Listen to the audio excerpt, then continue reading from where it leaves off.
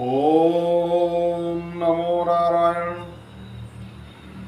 ओम नमो भगवते वासुदेवाय जय श्री कृष्ण राधे राधे जय गुरुदेव धन गुरुदेव भागवत का स्कंद दसवा बैतालीसवा अध्याय महाराज को कुब्जा ने मिलकर चंदन लगाना और भगवान ने तिसका कुप दूर करना श्री सुखदेव जी बोले कि पृथ्वीनाथ माली की प्रीत देखकर पर प्रसन्न होकर तिसको भक्ति पदार्थ दे वहाँ से आगे चले। तो समरणी गली में एक कुबरी, चंदन केसर अतर फुलेल की कटोरियाँ भरी, थाली दे बीच धरी, राह में लिए खड़ी है। उसने मनमोहन से पूछा, तू कौन है? अर्जय चंदन केसर कहाँ से लाई है? और वो बोली, हे दीन दयाल, मैं कंस की दासी हूँ, मेरा नाम कुब्जा है, नित चंदन राजा को लगाती हूँ, और मन में तुम्हारे गुण गाती हूँ। तो इसके प्रताप से आज आपका दर्शन पाए जन्म सकारत किया। और नेत्रों को फल दिया। अब दासी का मनोरथ ये है कि आप दी आज्ञा पाऊँ तो चंदन अपने हाथ से लगाऊँ। उपजा की अधि भक्ति देखकर हरि ने कहा, जो तेरी जी में है, सो कर। जो तेरी इच्छा में प्रसन्नता है तो लगाए दे। इतना पतन सुनते ही कुब्जा ने बड़े चाव हाव से रामकृष्ण को चंदन अर्ची। तब श्री कृष्ण चंद्र ने उस दे मन दी प्रीत देख कर दया कर पाँव पर पाँव धरा और दो उंगली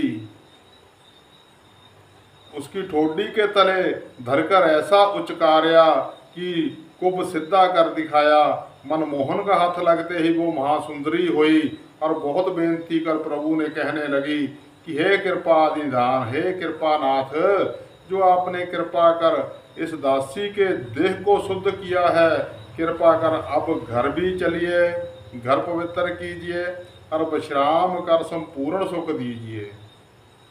ये सुन हरि उसका हाथ पकड़ मुस्कुराए कर कहने लगे, हे शरम, दूर हमारे कियो। तय श्रम, दूर हमारे कियो, मिलके शीतल चंदन दियो। रूपशील गुण सुंदर की तो सो प्रीत निरंतर जी की। आए मिलेंगे कंस ही मार, जो कहीं आगे चले मुरार। तब कुब्जा अपने घर जाए के केसर चंदन से चौक पूर कर रही। हरि के मिलने की लालसा मन में धार मंगलाचार करने लगी। आबे तहा मथुरा की नारी, कहे अचंबा रहे निहारी। धन धन कुब्जा तेरे भाग, जाको विद ने दियो सुहाग। ऐसे कहाँ कठन तप कियो गोपीनाथ पेट तुझ लियो। हमनी के नहीं देखे हरि, तुमसे मिले प्रीत अति करी ऐसे तहाँ करत सब नार, मथुरा देखत फिरत मुरार। इसी बीच नगर देखते देखते सब समेत प्रभु धन पोर पर जाए पहुँचे। श्री कृष्ण को अपने रंग राते माते देखते ही सभी पोर सिपाही रिसाए कर बोले, इधर किधर चले आते हो? अरे गोपालो, दूर खड़े रहो। तुम्हारा जहाँ क्या काम है?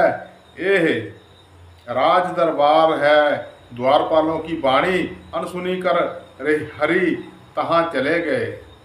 जहाँ तीर चाड़, जहाँ तीन चार ताड़ लंबा और बहुत मोटा भारी महादेव का धनुक पड़ा था जाते ही जठ उठाए कमान चढ़ाई कर ऐसा खींचा जो सात टुकड़े तत्काल कर दिए जैसे हाथी गन्ने तोड़ डालता है तैसे तोड़कर फेंक दिया एक कोतक देख जितने रखवाले कंस के तहाँ हाथ राखी करते थे सब शस्त्र पकड़कर मारने को उमड़े तब बलराम कृष्ण जी ने उसी धनुख दे टुकड़े पकड़ लिए जो सामने आया सो मार गिराया प्रवासी इस कोतक को देख आपस में कहते थे कि भाई ये निश्चय है, ईश्वर अवतार है। राजा ने अपनी मौत को घर बैठे बुलाया है। ये दोनों भाइयों को हाथ से अब जीता ना बचेगा। इधर तनक टूटने का शब्द सुनकर भय खाकर कंस अपने लोगों से पूछने लगा कि यह घोर शब्द किसदा है? इस बीच कितने लोग राजा दे जो दूर खड़े देखते थे, वो जाप करे कि महाराज की दुहाई रामकृष्ण ने आकर नगर में धूम मचाई है। शिव का धनक तोड़कर सब रखवाले सिपाहियों मार डाला है। इतनी बात के सुनते ही कंस ने बहुत से जोधा बुलाए कर कहा, शीघ्र जाओ, जैसे बड़े कच्छ उपाय शल बल से दोनों को मार कर आओ। कांसदी वाणी सुन सभी सूर में नमस्कार कर, अस्त्र शस्त्र लेकर दौड़े। इन सूरवीरों को सन्मुख आए देख राम कृष्ण ऐसे, तिन पर पड़े जैसे तीतर पर बाज पड़ता है। और एक पलक में रुंड मुंड कर दिखाए, जो लड़ा सो मरा, जो भागा सो बचा। जब भगवान ने देखा कि आपदा कोई सेवक जहाँ नहीं है, तब बलराम जी से कहा कि भाई हमें आए बड़ी देर गई है डेरे पर चला चलिए, क्योंकि बाबा नंद हमारा रास्ता देखकर थक गए होंगे। ये कहकर सब ग्वाल बालों समेत भगवान डेरे को आए। आते ही नंद महर से कहा कि बाबा, नगर में जाकर खूब तमाशा देखा और गोप वालों ने अपने नवीन वस्त्र दिखाए। तब नंद जी बोले, अरे कृष्ण, तुम्हारी बादी नहीं जाती। ये ब्रिज का गाँव नहीं है, जहाँ लुट मार करोगे और कोई ना बोलेगा। अरे, ये कंश की नगरी है, इस स्थान कोई उपद्रव नहीं करना। जब नंदराय जी ऐसा समझाए चुके, तब नंदलाल बड़े लाड से बोले कि, पिता, भूख लगी है। जो हमारी माता ने खाने को दिया है, सो दीजिए। इतनी बातें सुनते ही नंद जी जो पदार्थ राम कृष्ण देव वास्ते संग लाए थे सो निकाल दिया और भगवान ने सर्व सखाओं के साथ इकट्ठे बैठकर खा लिया। इतनी कथा कहकर श्री सुखदेव जी बोले, महाराज, इधर तो परमानंद अपने डेरे में सर्व सखाओं के साथ रास विलास करते थे। उधर कंस इतनी बात सुन सुन परम चिंता को प्राप्त हुआ। ना उसको बैठे चैन था, ना खड़ा होने में राम था। मन ही मन में जलता था। अपनी पीड़ किसी से ना कह सकता था। जी दान बहुत घबराया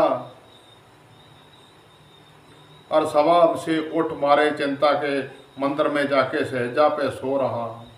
पर मारे डर के उसको नींद ना आई चोप आई तीन पहर निस जागत गई, लागी पलक नींद शिन पई।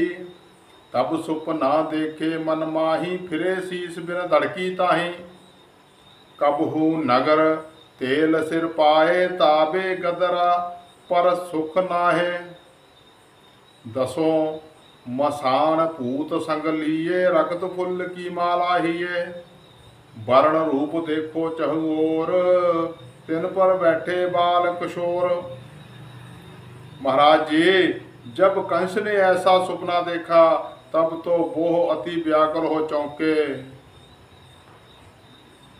और सोच विचार करता उठकर बाहर आया। अरे, अपने मंत्रियों को बुला भेजा। मंत्री हाथ जोड़कर आया और कंस से कहने लगा। कंस कहने लगा, तुम तो अभी जाओ, रणभूमिका बनाओ और नंद उपनंद आदि ब्रजवासियों को और वसुदेव और जदवंशियों को भी सभा में ले, लिया बैठलाओ। और जो देश देशों के राजा आए हैं, तिनको भी मान संयुक्त मंचों पर बिठाओ। इतने में भी इतने में मैं भी आता हूँ।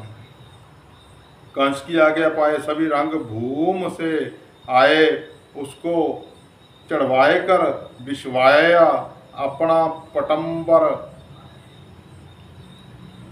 तहाँ बिछाया और तुझा पता के तोरण बंधन बार विंधाए और अनेक अनेक भांते बाजे बजवाए, पुनः सबको बुलाए, भेजा तब सभी आए, पर अपने अपने मंच पर जा बैठे। इतने में राजा कंश भी अभिमान भरा अपने सिंहासन पर बैठा। उस काल देवता भी विमानों पर चढ़े, आकाश से देख रहे हैं।